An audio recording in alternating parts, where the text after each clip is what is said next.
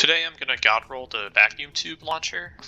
I have a little bit of extra core reperk sitting around too, and uh, this is a weapon that I've been wanting to upgrade for a while now. So finally going to do it. Uh, figured I'd show you guys for know, anybody that might want to see it. So it's actually not bad. Um, I'm going to use the core reperk on this sixth perk down here, which I'll show you guys in a minute. Let me just get it leveled up a little bit.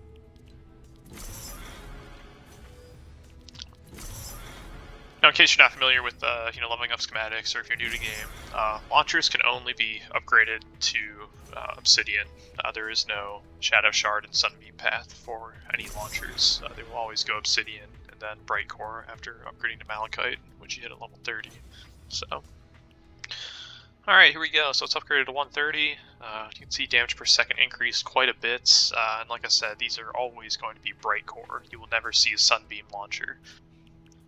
So let's take a look at the perks here. Uh, it's locked to nature, so not much we can do there. Let's go ahead and make this gold though.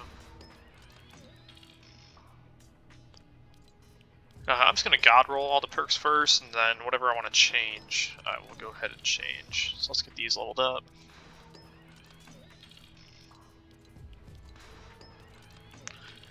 Alright, so the sixth perk down here, um, you click on any core reperk. Uh, I have five, fortunately, so I will be able to change this one. Uh, this is the considered to be the rare sixth perk on the vacuum tube launcher. Uh, this seems to be the one that everybody wants, so um, yeah, including I'm one of those people myself. So eliminating an enemy with this weapon causes chain lightning to strike up to six enemies. Uh, pretty overpowered, if you ask me. So we're gonna go ahead and do that. Um, let's see. Probably do this one damage to mist monsters. And then I might just keep these all damage, honestly. Uh, I don't usually do durability. I'm not too worried about that. I'd rather have a, a reload speed. So I think this is how I'm going to keep it for now. But let's uh, let's load into a game and try it out. Um, go into Plankerton.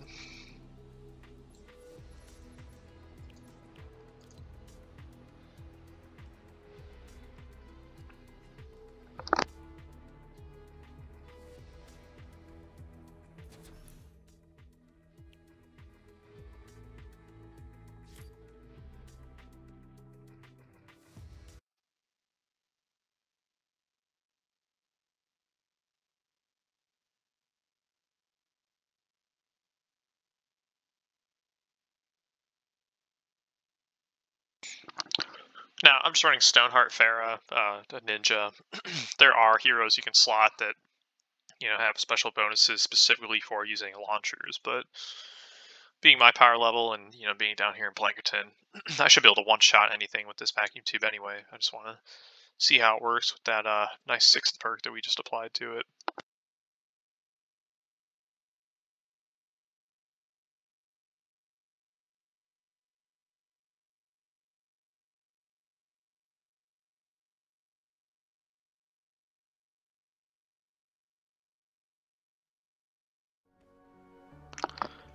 Alright, so let's go into the schematics here. Okay, go ahead and craft one. Now, most of my god rolls I'll favorite, um, just how they're all in alphabetical order. Don't believe I favorited this one. So here it is. 130 vacuum tube launcher. We have 20 minutes to neutralize the target. Search the zone and keep an eye out for any encampments that look angrier than usual. Alright, here we go. see what this thing can do. Wow, okay, I like this thing already. Might be one of my new favorite launchers in the game. like that reload speed too. Makes it quick. Alright, so let's see how the chain lightning works. Got a group of about six enemies here. Like that, I was able to take them all out with a single shot. Now, I realize using a 130 down here in Plankerton is a little bit of overkill, but I just want to do this for uh, purposes and my own curiosity. I think it's oddly satisfying to shoot. Um, like I said, it might be one of my new favorite launchers. One of my other favorite launchers would uh, definitely be the Noble. Let me go ahead and make one of those quick, just in case you're not familiar with it. Thing I like about the Noble is that you're able to charge it up and you know basically shoot one wide beam. Let's go find some husks to use this on. Oh, a taker. Perfect. So I'm gonna go ahead and get this charged up. Uh, the other nice thing is that it pierces, so you can shoot through walls, through buildings. Um, you'll see it's just this, once it's charged, it's a super wide beam, so it's great for groups of enemies, uh, especially if you have like a narrow choke point that you're trying to filter them through. Uh, you're able to just charge this thing up and you can take out a whole wave in one. So you don't have to charge it. You can also shoot it, you know, single shots like this. But um, I know charging it is uh, a lot of fun and much more effective. So that's what I usually do. But yeah, I just want to show you guys that uh, vacuum tube launcher.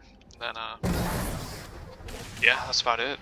So I'll be back with more videos soon. Uh, I'm constantly upgrading weapons and you know changing perks on them. So I'll try and detail some of that stuff as much as I can. But hope you guys enjoyed. Thanks for watching.